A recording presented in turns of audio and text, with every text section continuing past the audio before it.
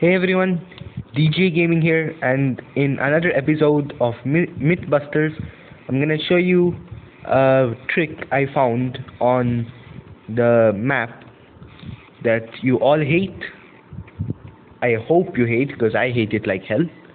And that map's name is Yamantau, and this uh, glitch or trick or whatever you want to call it, or Mythbuster it used to be possible before, but Pixonic fixed it. But I found out that with a raker, you can still do it.